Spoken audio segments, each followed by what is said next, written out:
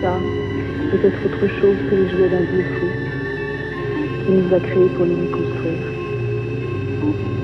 Imaginez un homme de Néandertal a la vision de cette chose-là dans sa tête. Un flash de ville la nuit, avec ses mouvements et ses lumières. Il ne sait rien de ce qui compose cette chose-là. Il a juste une vision poétique, pleine de mouvements et de lumière. Il a vu une mer de lumière. Il ne sait pas faire le tri entre toutes les images qui se posent à l'intérieur de sa tête, comme des oiseaux, aussi rapides et irrattrapables que des oiseaux. Pensées, souvenirs, visions. Pour lui, tout revient au même, une espèce d'hallucination qui lui fait peur. C'est une vision de mémoire qu'a eu William Gibson en écrivant New Romancer et en inventant le cybersmith. Il a vu une espèce de mer des sargasses, pleine d'algues binaires. Et sur cette image, les néandertaliens que nous sommes ont commencé à greffer leurs propres visions, leurs pensées, leurs souvenirs, des misérables brises d'informations. Mais aucun de nous ne sait ce qu'est une vie.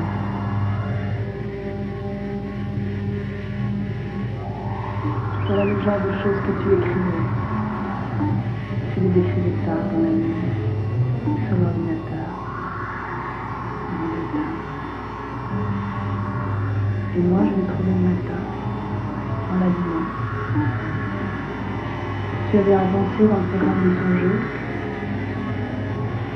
et moi j'avançais dans l'écriture de mon. Tu disais que tu étais dans l'éditeur du soir, dans la noire.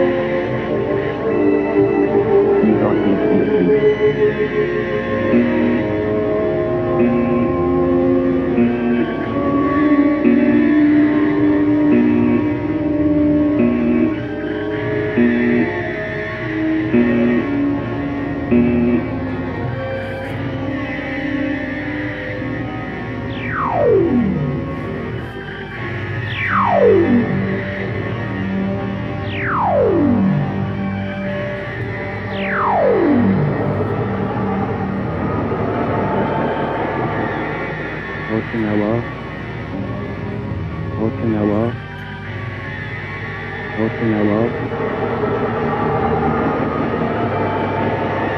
militaires, rejetant en le chemin parcouru par les Japonais, leur arrachaient les désirs rentables de l'Empire levant, la conquête d'Okinawa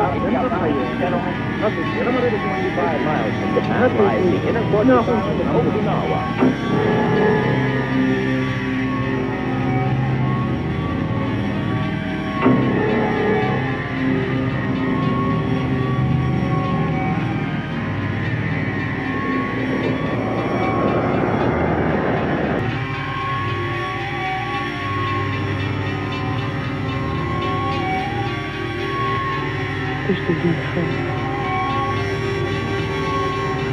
C'est la période où je te voyais partout, où je te reconnaissais de loin dans la rue. La période où je retournais dans tous les endroits qui nous aimaient. Le jardin des plantes, la ferme du bois de Boulogne, ce temps piquaient tous les Golden Gate, et qui me va loin de se noyer dans vertigo. Je voyais quelqu'un d'eau et regardais les perroquets. Il était attablé, entouré de chèvres. Il était accoudé à la balustrade. C'était toi. Je m'approchais. quelqu'un se retournait qui n'était pas toi. Je comprenais pas comment il avait pu si vite prendre ta place. J'avais dû être distraite un moment. Un tout petit moment. Et là, a recommencé sur le réseau. Quelqu'un m'appelle. Je comprends que c'est toi à des petits signes de reconnaissance. Un mot qui n'a de sens que pour toi et pour moi. Je l'interroge un peu, il se dérobe. Ça a plus l'air d'être toi. Et puis encore un signe. Est-ce que tu joues? Ou est-ce que tu de moi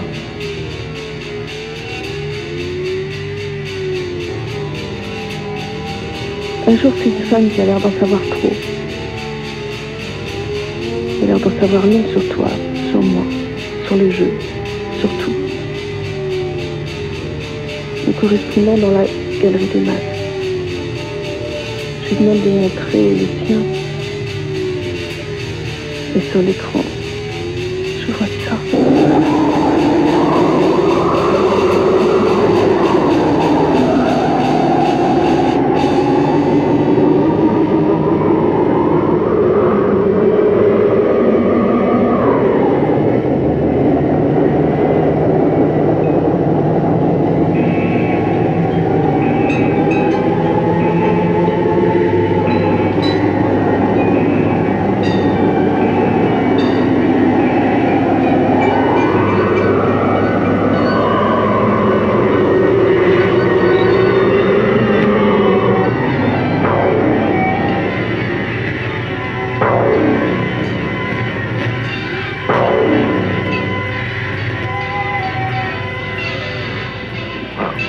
La fin de la bataille, on peut la lire dans les hauts Kinawa.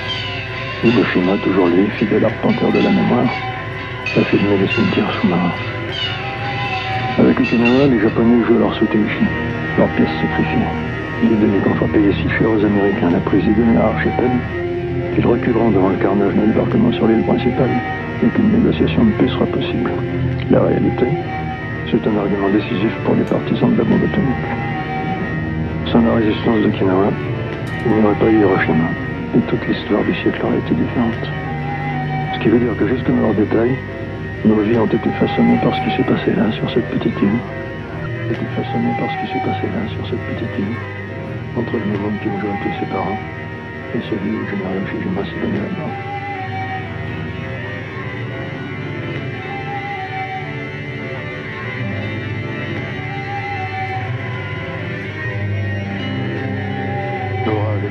Les jeunes seraient à jamais à faire l'histoire. Ils se contenteraient de la répéter en boucle, avec une obstination méritoire et probablement imitée. Mémoriser le passé pour ne pas leur vivre était une illusion du XXe siècle.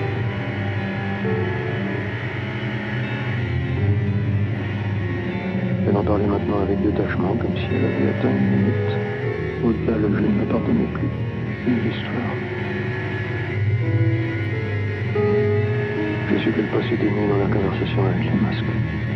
Je lui demandais ce qu'elle cherchait, elle répondait la même phrase, bien sûr. Sur un ton qui me faisait croire qu'elle allait mieux, que pour elle au moins la guerre était finie. Et bien sûr, je me trompais.